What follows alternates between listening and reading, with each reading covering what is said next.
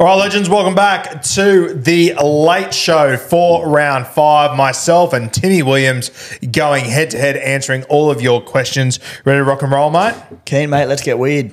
Scissors, paper, rock. Scissors, paper, rock. Fuck me. You throw scissors. I'd like to go back and check this. I reckon you've thrown scissors every week. I got a bit of Matty Waterboy about me. Uh, Catmandu, what's doing?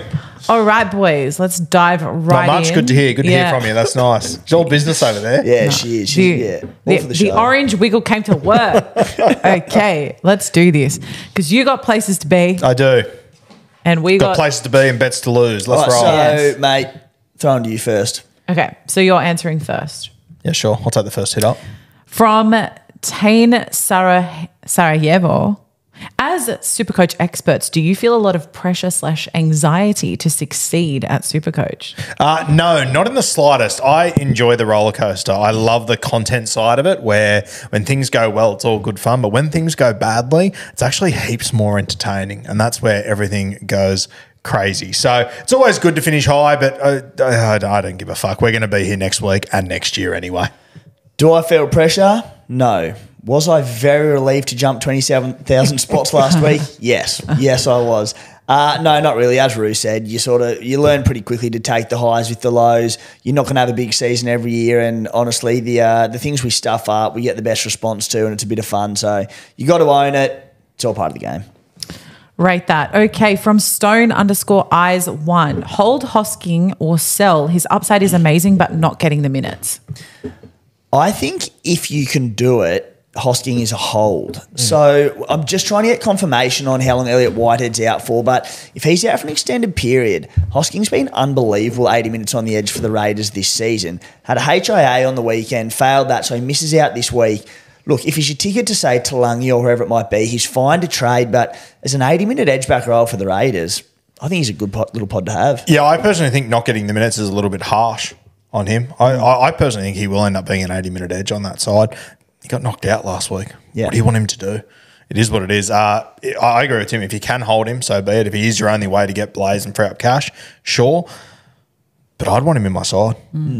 Okay. Tommy80809 has asked thoughts on Ford as a buy. This is you, Guru. No.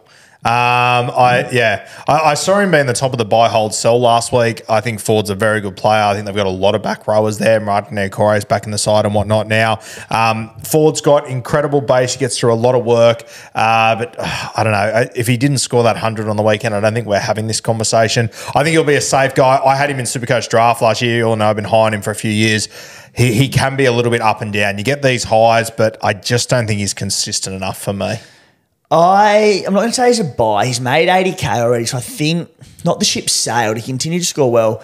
Can continue to score well, I should say, but he's basing 51 this year, averaging 74.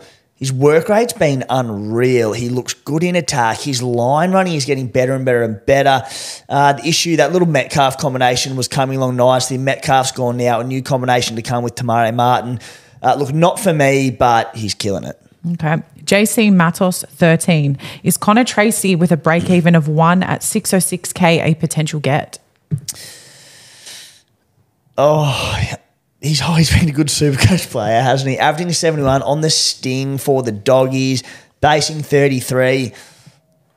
Look, I just don't like going attacking players for lowly teams in the NRL. The fact that he's doing it in three tries in his three games so far this season, he's killing it. I just I like to chase higher upside guys in, in better attacking sides. a 600k winger at Canterbury. Hmm. Fucking please. Hard pass for me. If he starts playing fullback, I'll have the conversation with you. But even at 600k, it's a, it's a lot of bicky. If I'm paying 600k for an outside back at the Dogs, his name's Jacob Kiraz. And even then. Yeah, no thanks. Okay. Something a little different. Jay Sunders 16. What is your favorite rugby league name of all time? Um, oh fuck, that's tough. Off the top of the dome. Fuck, I wish I was going second. uh, favorite rugby league name of all time. Kerry Boustead's a good one. Really from the old school there. Russell Fairfax, another good one, a cracker.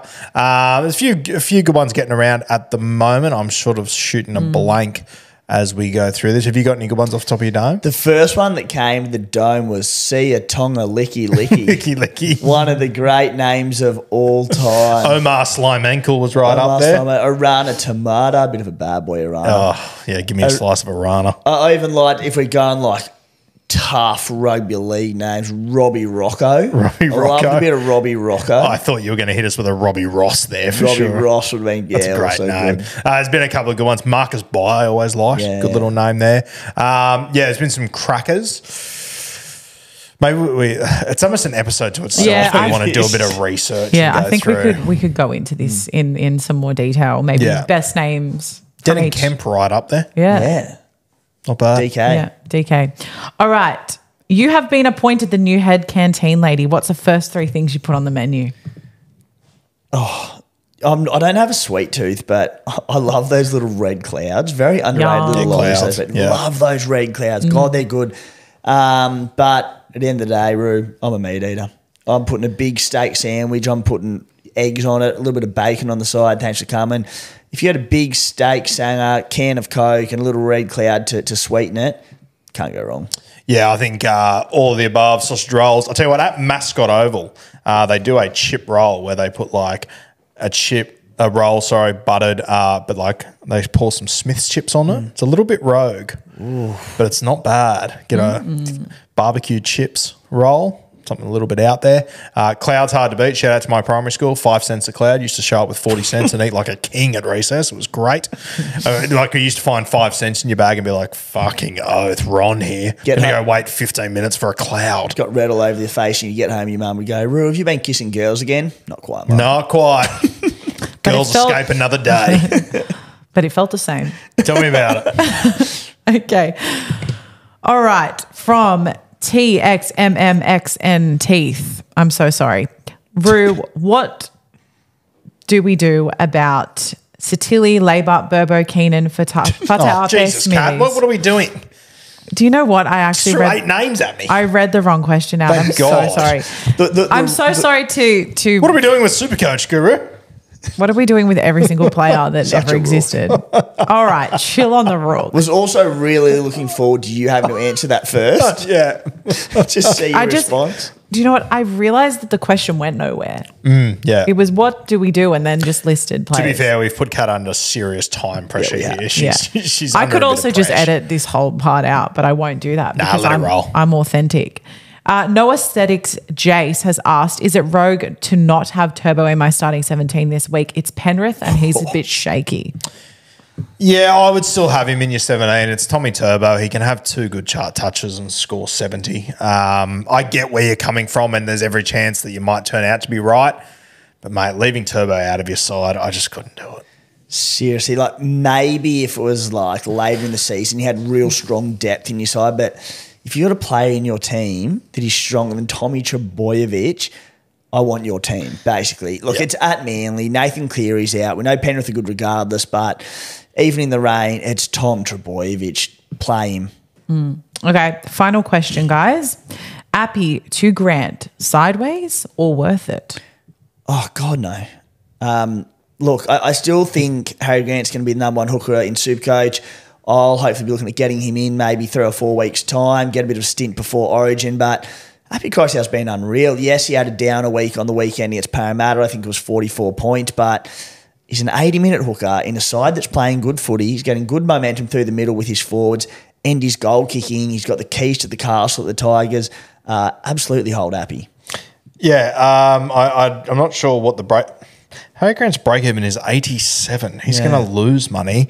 And you've got Api who's got a break of about 35. He's only going to go up. They're going to meet each other halfway. I, no, not the week for me. I'll fire them back at you quickly, Root. Uh, after the way the season started out, Robson going well, Api looking good, Harry started a bit slower. Uh, are we still confident Harry's the number one hooker in Supercoach this year, come end of year? Yeah, I think he will be by the end of the year. I think that Harry will have enough 100 plus games to make him the number one hooker. But I, I think averages wise, I don't think there'll be that much of a gap. Yeah, I still think he'll be number one and, and definitely the one that I want to get in in time. Um, but been some other hookers are going well. They have been going well, but I, I just I don't. There, there- there's real the only hooker I look at and think you're a genuine chance to score hundred this week is probably Harry Grant. He's the man. Even Api with goal kicking, I'm st- I'm probably still more confident. I'm Harry stoked Grant. with my Reece Robson pick. He got three tries just two weeks ago and scored like 98 or something. Yeah, keep in mind Harry, like he has, like he hasn't been going great guns. Don't get me wrong, but once that team now has Cam Munster back, Husey back, Pappy's starting to find his Nass feet. back through the middle. Is it, has he been named this week? I don't think he was. I No, think I he's don't still think he playing. I, I reckon there's something going on there. Mm. That's he's, he's played two weeks of Bears. Yeah, it's weird. It's very weird, very odd. But if Melbourne, you know, they're going to hang in games, they've shown that already. They start to get on the front foot now. Harry could be very interesting. Imagine very being the 83 kilo hooker in New South Wales Cup, knowing that you're playing the Bears the following week and waiting for team lists to come out going, please, please, bellyache, pick Nels. Yeah, fuck you've just that. done, you've just done a, a full week on the tools. You saw your back's going, and if you go and tackle Nass on Saturday morning. Yeah, miss me with that. I'd be praying for a hamstring. Um, all right, are we done and dusted, Catman? We're done and dusted. That's the late show for round five. We will see you next Wednesday day.